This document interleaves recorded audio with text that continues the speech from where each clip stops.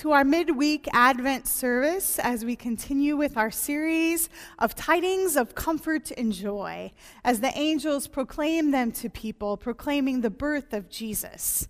These tidings came in the midst of fears and confusion, doubt and curiosity. And yet, they came to bring comfort and joy to those who the message was delivered to, and also for the entire world. Today's theme that we'll be exploring is that of Joseph and his encounter with an angel. I hope that you will enjoy the service. And just a couple of notes before we begin. One is that we continue to collect Advent offerings that will be split to go and help out both the Food Bank for the Heartland and Lutheran Disaster Response. You can do this on your Give Plus app or you can send in a check. And with that, I think we are ready to begin.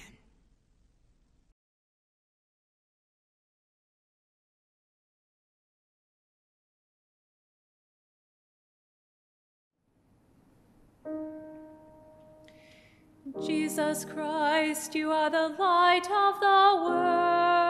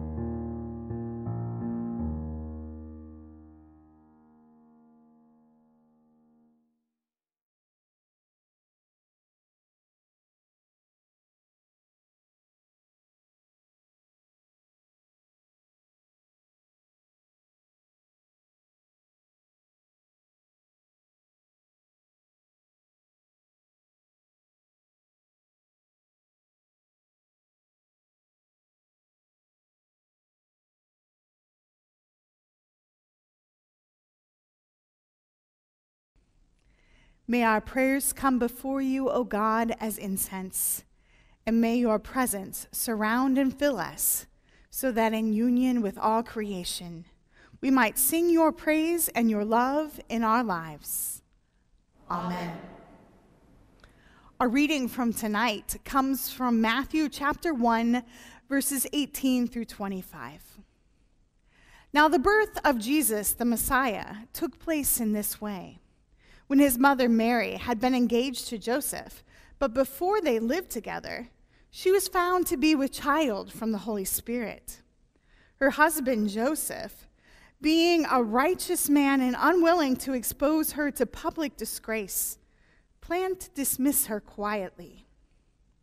But just when he had resolved to do this, an angel of the Lord appeared to him in a dream and said, Joseph, son of David, do not be afraid to take Mary as your wife, for the child conceived in her is from the Holy Spirit. She will bear a son, and you are to name him Jesus, for he will save his people from their sins. All this took place to fulfill what had been spoken by the Lord through the prophet. Look, the virgin shall conceive and bear a son, and they shall name him Emmanuel, which means God with us. When Joseph awoke from sleep, he did as the angel of the Lord commanded him. He took her as his wife, but had no marital relations with her until she had borne a son, and he named him Jesus. Grace and peace to you from our Lord and Savior, Jesus Christ.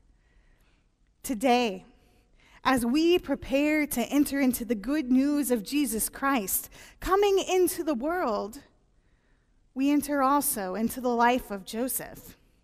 You know, the one who had been betrothed to Mary, but before they had even been together, suddenly she was found carrying a child that he knew wasn't his. And you have to admit, Being told that your betrothed is pregnant, not with your baby, would be a whole lot of unexpected circumstances. To simply just get past the emotional baggage of ruined plans, knowing or at least thinking you knew the truth, which of course you didn't think was being told to you by your partner. It's kind of a whole lot.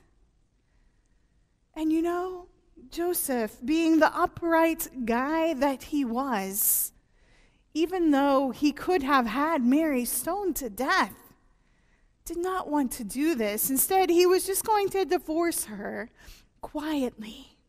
He had just made plans to do so. Yet, in the midst of all of this, suddenly an angel of the Lord appears to him in a dream and confirms to Joseph the wildly crazy story that Mary had already shared with him that this child was not from Mary's unfaithfulness to him, but a child conceived by the Holy Spirit. That not only was this child going to be the long expected Messiah, in which Joseph and his people had been waiting for for a long time, but this child would be the one that saved all of God's people from their sins. So he, Joseph, of the house and lineage of King David, did what he was supposed to do. He answered the call. The call to become the father of this child, to raise him and name him Emmanuel, God with us. Jesus, save us. So the tidings of comfort and joy brought to him in this dream by an angel of the Lord was enough. It was enough for him to take on all the other unknowns that were yet to come because they matched exactly what Mary had already told him, even if it sounded unbelievable when she told it. Now that an angel had also confirmed, he believed it. And he wanted to do exactly what God had told him to do. He answered with faith and trust in the Lord's ways over his own understanding. And he would indeed listen and do what God was directing him to do. I think that takes a whole lot of faith and resolve to listen to what God is telling a person to do, even if you know living out such a faithful response will likely be quite a bumpy adventure with challenges beyond one's own imagination. But yet, still, it was a comfort and a joy in knowing that God was leading rather than Joseph. Speaking from personal experience, I'd say that can be true for all of us. That sometimes the things God calls us to do, perhaps despite one's own parents' wishes, which happened in my case, is quite a faith experiment. Because I know that when I chose to go to the Lutheran Service Corps and volunteer for a year and serve God and discern my calling, my parents were not happy. I had just graduated from college, you know, where you go out and you get a real job and you take care of yourself. And instead, I had chose to go and serve others and live off of nothing. The same could have been said when it came to my actual calling to be a pastor. One of the biggest holdups for me were funerals. I just didn't think I could hold it together and offer words of hope to somebody else. And then my dad passed away. And when I was able to speak at his funeral, I decided right then and there that meant that I could indeed stand up and speak words of hope to others, even in their time of sorrow. Because God had called me to do that, and I trusted that God was going to be with me when those hard times would come. And that would provide me with enough hope and peace and courage to be able to do the same. Today, in the pronunciation that indeed Jesus was coming in the form of a tiny infant, in which Joseph was to step up and claim as his own, he was told that his name would be Emmanuel, God with us. And even when times are so confusing, that is still a comfort and a joy that we can hold on to. To know that God was and is still with us through all of those hard times. Well, in one of my daily devotions that I recently was reading, there were some words from Philip Brooks in the hymn of O Little Town of Bethlehem. And they were quoted there, and they still fit in nicely with this too. So I wish to share them with you now. No ear may hear his coming, but in this world of sin, where meek souls will receive him still, the dear Christ enters in. Dear friends, here we are. It's confusing times right now. But we know that the presence of the Lord is with us. And it too can be there to speak to us even through hard times and that of the unknown. May we choose to listen to God speaking to us in many and various ways. Sometimes it is our daily devotions, our time of prayer, our time of reading the word, and sometimes it's just talking with a good friend who encourages us, who reminds us that we are not alone. It's when the old words become words anew because we heard them and we took them to heart, like Joseph did when the angel told him what was to be. It calls us to speak light into the darkness. It calls us not maybe to just go what sounds like makes sense, but what God is truly telling us to do.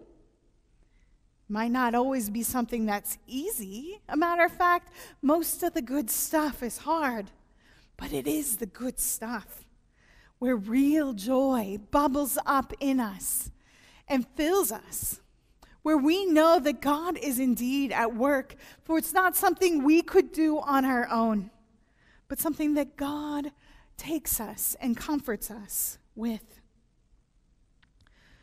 So may we respond with faith that Christ's presence indeed enters into our situations. It might not be smooth, it might not be easy, but may the Word of God continue to speak comfort and joy to us.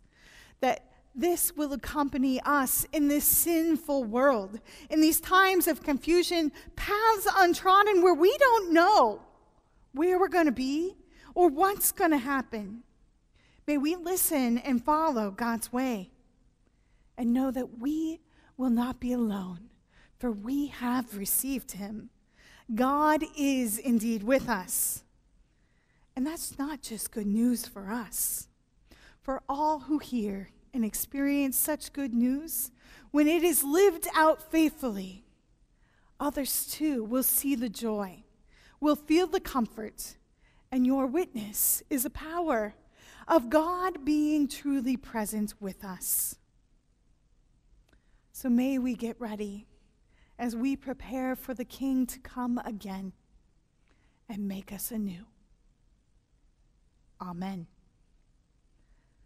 The light shines in the darkness, and the, and darkness, the darkness has not overcome it.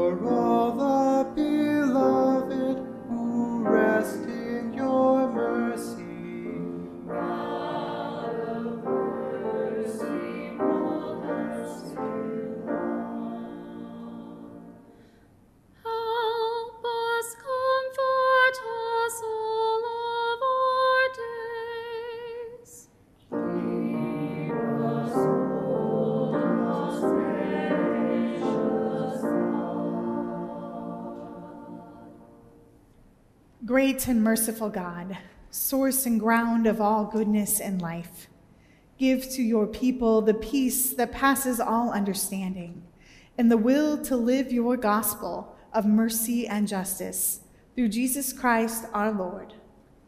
Amen. God, remember us in your love and teach us to pray. Our Father in heaven, hallowed be your name. Your kingdom come, your will be done, on earth as heaven.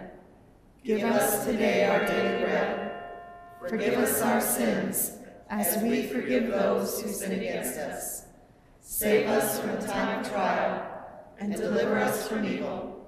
For the kingdom, the power, and the glory are yours, now and forever. Amen. Let us bless our God.